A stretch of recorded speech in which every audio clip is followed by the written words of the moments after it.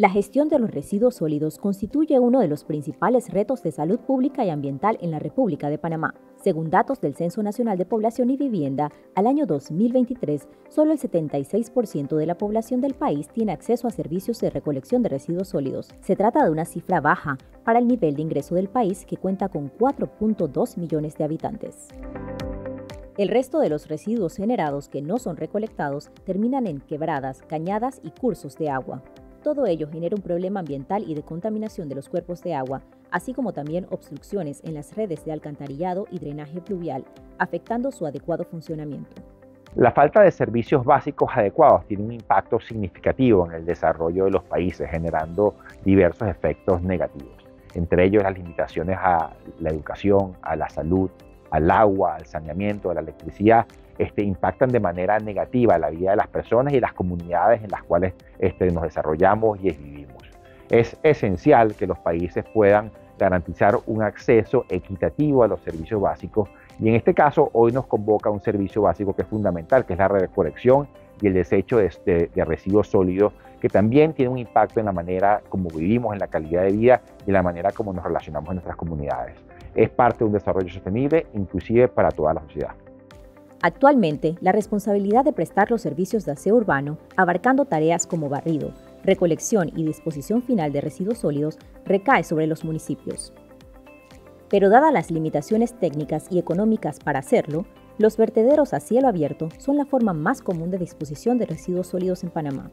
Los residuos sólidos generados en los distritos de Panamá y San Miguelito son recolectados por operadores privados, organizaciones sociales o por la Autoridad de Aseo Urbano y Domiciliario, la mayor parte de estos residuos se disponen en el relleno sanitario de Cerro Patacón, el cual es administrado por la autoridad de aseo y una pequeña parte logra ser recuperada para su aprovechamiento.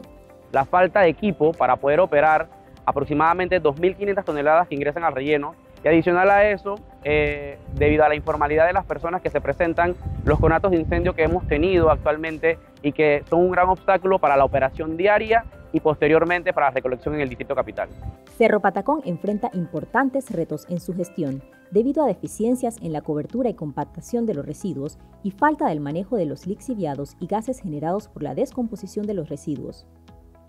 Esto genera incendios y microincendios, esparciendo humo y partículas tóxicas en el ambiente, impactando las áreas colindantes a los mismos, teniendo la presencia de múltiples vectores y animales. Muy cerca del vertedero se encuentra el asentamiento de Cuna Nega, uno de los más afectados por los incendios. Aquí hay de todo tipo de personas, ¿no? Hay personas que vienen a trabajar honradamente, hay otros no, y se presta para, para cualquier tipo de, delincuencia.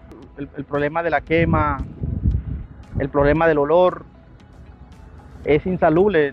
No hay un sistema eh, de protección para el trabajo, el sistema de, el manejo tampoco de residuos no es, eh, eh, eh, es responsable tampoco. Esto es, es, contaminante. Si no se trata como es debido la basura, los desechos, afecta a todo lo que estamos alrededor.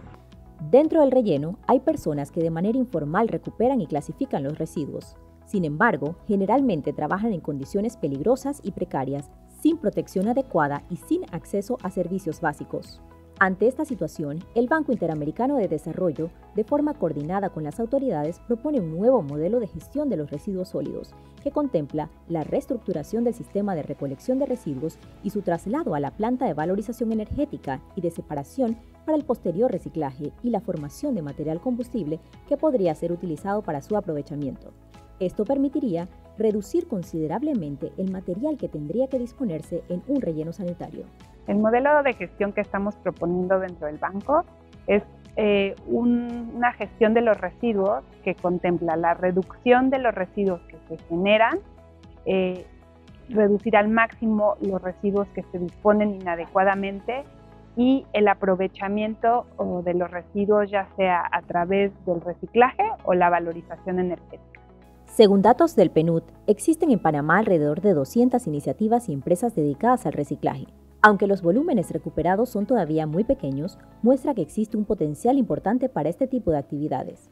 Uno de los aspectos claves del modelo propuesto es la concienciación de la población sobre el correcto manejo de los desechos sólidos.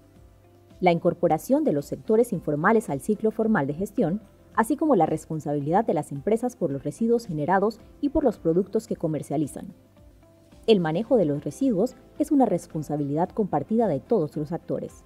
Para fortalecer la planificación y ordenamiento del sector, el BID apoya al Gobierno de Panamá en el desarrollo de un modelo de gestión de residuos sólidos para el Distrito de Panamá, en la elaboración del Plan Estratégico Nacional de Residuos Sólidos, el diseño de un sistema de información para la gestión de residuos y economía circular, así como un plan de acción para la mejora de la operación de Cerro Patacón. Mejorar vidas es el firme compromiso del Grupo BID en Panamá, apoyando sectores que impactan positivamente en la calidad de vida de los panameños.